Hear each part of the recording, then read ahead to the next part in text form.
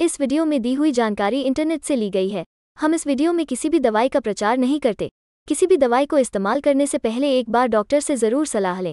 अगर आप इस वीडियो को देखकर किसी दवा का उपयोग करते हैं और आपको कोई साइड इफ़ेक्ट होता है तो उसमें हमारी कोई ज़िम्मेदारी नहीं होगी।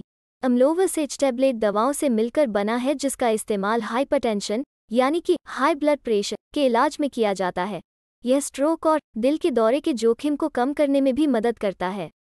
अम्लोवस एच टैबलेट दवाओं से मिलकर बना है जिसका इस्तेमाल हाइपरटेंशन, यानी कि हाई ब्लड प्रेशर, के इलाज में किया जाता है। यह स्ट्रोक और दिल के दौरे के जोखिम को कम करने में भी मदद करता है।